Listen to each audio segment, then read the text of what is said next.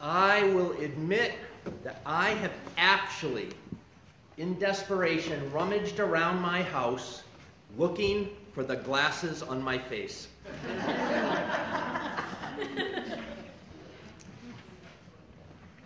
I have crawled around on my hands and knees in the front and back seat of my car, under my desk, under counters in the kitchen, under cushions in the sofa, desperately seeking the car keys that were in my pocket. I have indeed, more than once, I just admitted that, didn't I? More than once, searched frantically among all the files in my computer for the sermon document that was open in another tab. and I have generally, on many enough of an occasion, completely missed the elephant in the room. I have failed to pay attention, well, pretty much every day. because it's part of being human. There's a psychological set of theories called attention theory. How we miss things that are right in front of our face. There's different ideas about why this happens. First was Broadbent selective attention theory, that all the sensory information we take in goes in quickly, is immediately stored, and then filtered or selected. So if you hear all the noise at a party but need to listen to the person talking to you, your brain filters out the stuff you don't need to hear and tries to focus your attention on the person's voice you're trying to listen to. There's a few problems with this idea. If meaning has not yet been assigned to anything when you filter it, how do you know you're focusing in on the language or the color of a person's shirt? So then the next theory developed was that the brain filters things first and then it selects which of the filtered things it needs to pay attention to. And then the theory came to be that this happens kind of both at the same time. That we filter information as we process it. So the processing and filtering happen in this kind of juggling act of balance.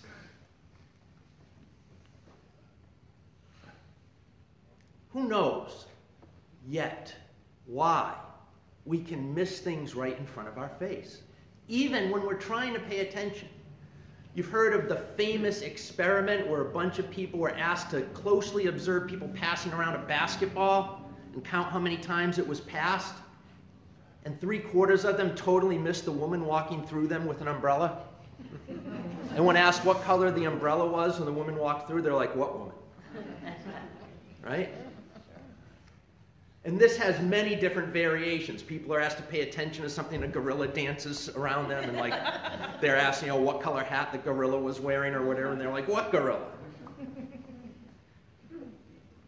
We seriously overestimate our ability to multitask as human beings. We need to selectively turn our attention in one way or another to the thing we want to focus on. And we miss things. And in a sense, it's an evolutionary necessity. If we can't process and filter out that the grass isn't dangerous, but that lion is, we're not going to be around very long, right? So we have evolved to kind of focus our attention selectively based on need and desire. If we want to say grow a congregation, we need to focus our attention on some things. In fact, we need to kind of focus it on many things in our congregational life. Because we do not have a, do- a dogma or a creed, we need to make sure that we do have a mission and a message. And we need to stay focused on our purpose. If we don't, when people come in, they'll stick around a little while and they'll drift off. And we'll be asked, Remember those two visitors with the plaid shirts? We're like, what visitors with the plaid shirts? How often does this happen in our congregations, right? We need to pay continuing selective attention to the things in our congregation that will grow us, bind us together, focus us more clearly on what we say is the important thing, the mission that we do. It is time, in a sense, for all of us in our respective congregations, maybe even together, to focus our attention a little more closely on who we're talking to, who's coming in our doors, and whether or not they're sticking around. Because then we will have a full church like this. We can do this, it is not all that difficult. Human beings have forever been able to not pay attention to certain. Sometimes it means we miss a visitor in a plaid shirt. But sometimes it ends up meaning that other people are abused, hurt, or killed because we're not paying attention. Why is this? Why is our world still full of so much injustice? Why so much racism? Why so much genocide and imperialism? Why so much intolerance, hate, and violence towards those who are different? Yes, we are asked to care about an awful lot. There is compassion fatigue. There is justice fatigue. We can only pay attention and only act on so many things at once. It seems like everything in the world needs our attention to make this world a better place. And we can only focus on and do so much. We are trying now, finally, many of us, in many places, in many ways, to pay more attention. To pay attention to people who have been left out, ignored, forgotten, eliminated. We are trying in our own tradition to dismantle racism and white supremacy. White UUs have missed so much for so long, it's going to be a process. And we're going to need to be reminded to selectively return our attention to this task.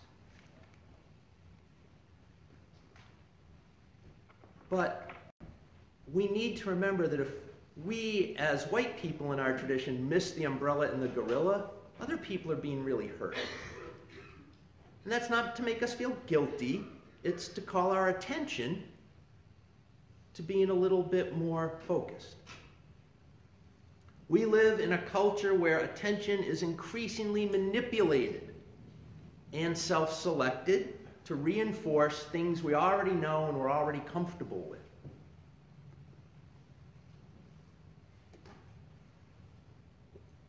we have an impeachment process in progress. And it's almost as if we're fighting not over whether there's an impeachable offense, but whether things happened or didn't even happen. Truth gets manipulated. One side sees this, another side sees that.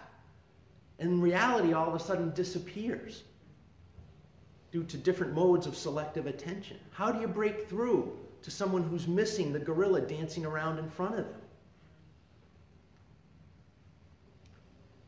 Even those of us who care and who know it's wrong, who understand now the history and myths of American civic religion are indeed myths and not accurate accounts of what really happened between the colonizers and the colonized, even those of us who get this, who are a little bit awake, who have our attention on our work and our families and our health and our friends and driving the car and the road in front of us. Even those of us who get it and we're trying to pay attention, we still can't seem to get Columbus Day eliminated. Right? For still some reason this is a holiday and the pilgrims are somehow they had their pluses and minuses, but somehow they are still deified as like the Abraham of our national myth, the progenitors of generations and generations, right? And we do not demand reparations for the people who suffered genocide.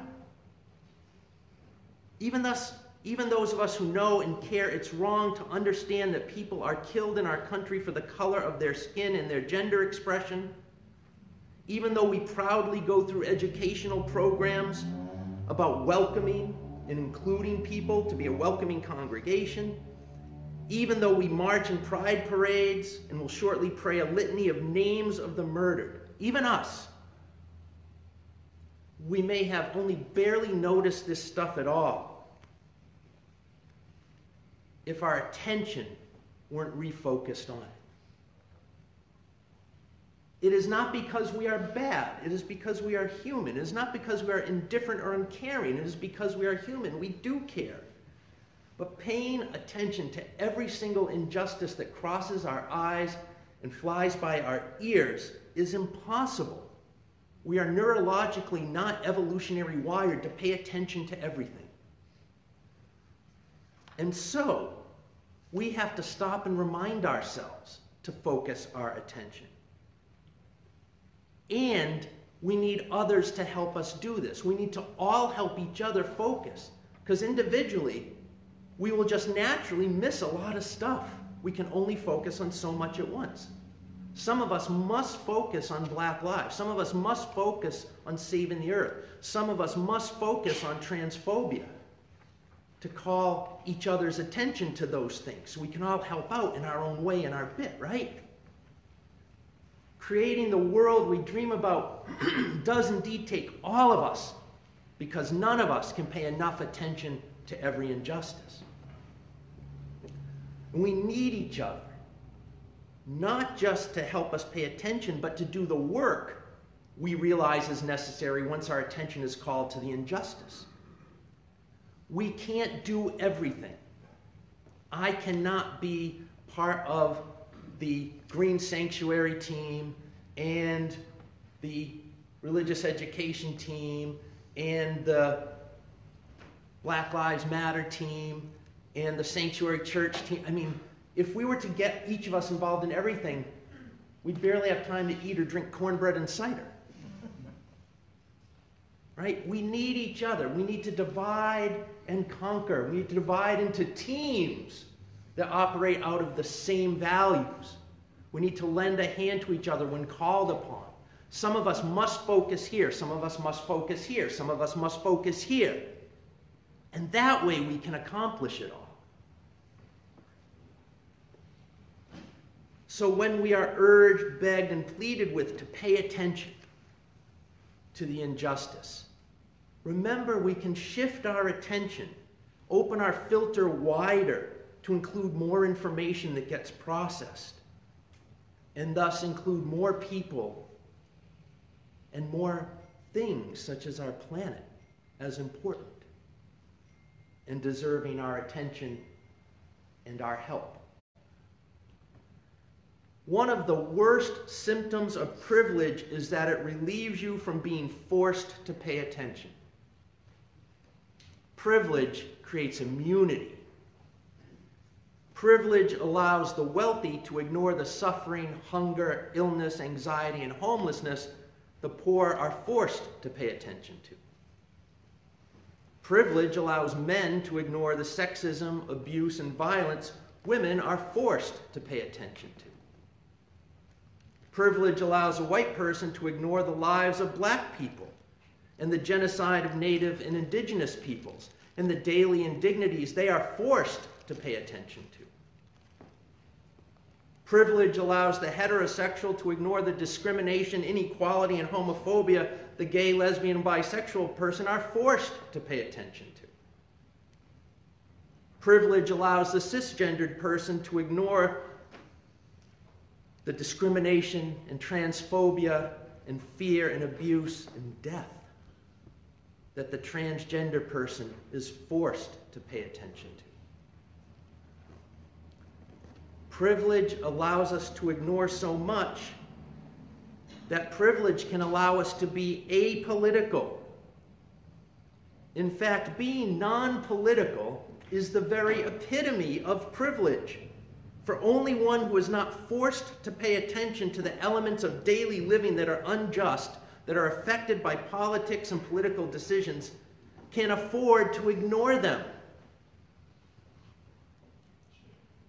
And worst of all, privilege makes it easier to dehumanize others. Others who are forced to pay attention to things in ways we are not.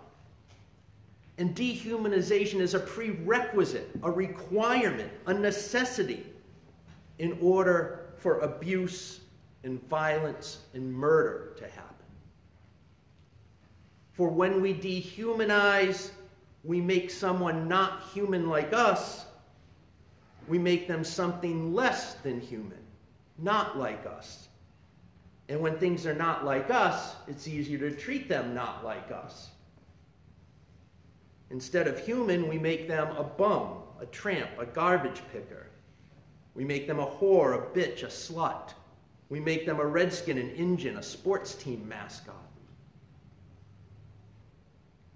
We make them a dyke, a fairy, a tranny, a faggot. Labels aren't just labels. They are the ways we put other people into categories which mean not as human as me. And when we dehumanize, we can hurt, we can maim, we can kill. And being Unitarian Universalists, as we live into this faith, this faith has to help us do something very important. It helps us pay attention. It calls our attention. It calls us to honor the dignity and worth of all people. All people. All human beings. There is no such thing as a lesser person. This is our first principle, our prime directive, our most lofty ideal and spiritual value. There is no such thing as a lesser person. We may not ignore this.